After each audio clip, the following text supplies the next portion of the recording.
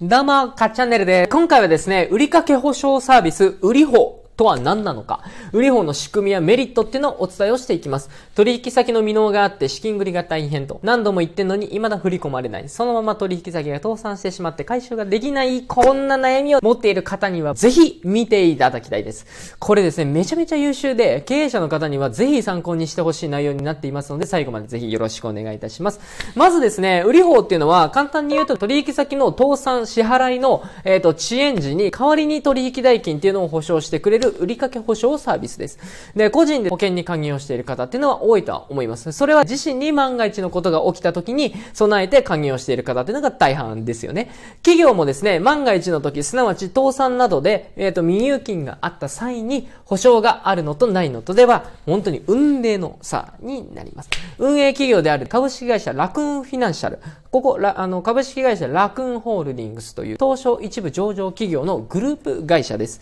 で、売り法のほか、B2B 後払いサービスや家賃滞納リスクの、えー、回避サービスなど、ヘビロック事業っていうのを行っております。で、売り方は、あの、1万1000社以上の企業へサービスっていうのを提供しています。業種も様々で、えっと、製造業、建設業、アパレル、食品卸などにですね、導入実績っていうのがあるとのことです。で、ウリホの料金プランっていうのは3つあって、こんな感じです。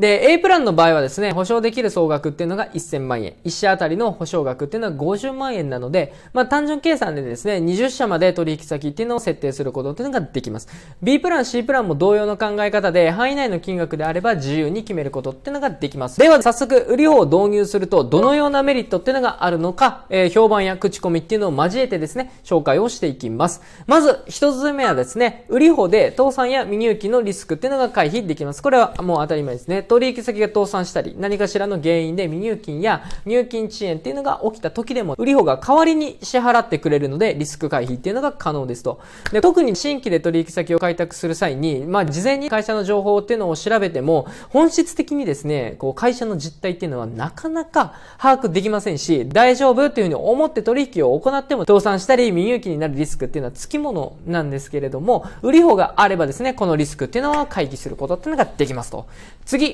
2つ目はですね、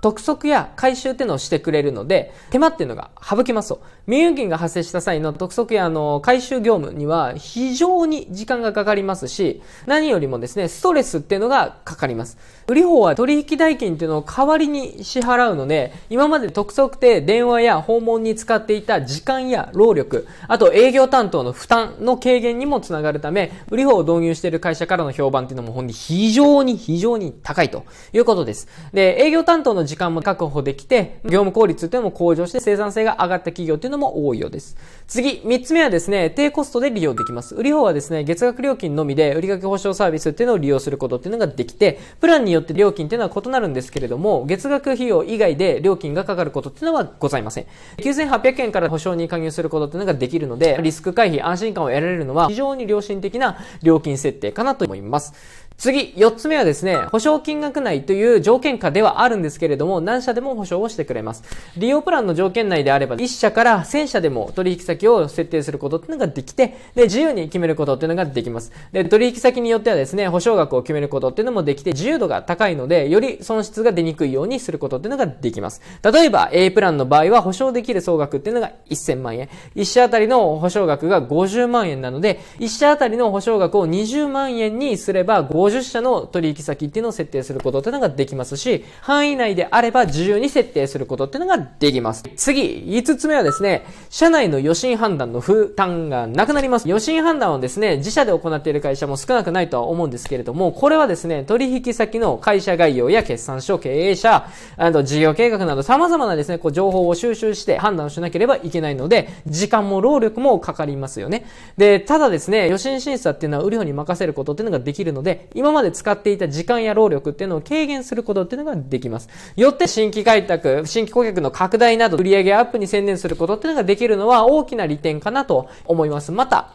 えっと、予診審査をする際に、なんとなく直感的にといった曖昧な基準で判断している方も少なくないとは思うので、売り方に任せることによって明確な基準っていうのができ、審査に落ちてしまった場合でも、外部の予診審査に通らなかったと伝えることっていうのができるんです。最後ですね、6つ目。これはですね、新しい取引先でも安心ということです。で、新規開拓する際、切っても切り離せないのが、この取引先は大丈夫なんだろうかっていう不安ですよね。これによって一社一社綿密に情報収集をしなければならず、時間効率っていうのが悪くなってしまいます。しかし、売り法を活用すれば、予診審査を代理で行ってくれるので、売り法に依頼するだけで終わります。楽ですよね。よってですね、今まで以上に新規開拓に専念することっていうのができて、プロに任せていることっていうのもあり、新規の取引先とも安心して契約をすることっていうのができます。以上がですね、経営者の方必見の売り法サービス概要でした。今までありそうでなかった、そしてほとんどの会社さんが同じ悩みを経験したことがある、そんな現状っていうのを解決してくれるサービスですよね。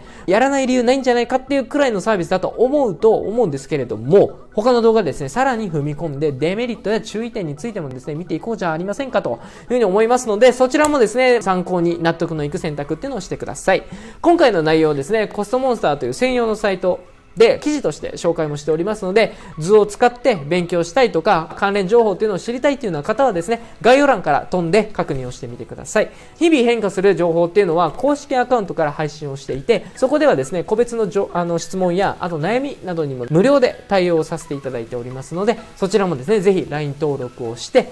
もらえると嬉しいなと思います。はい、それではまた。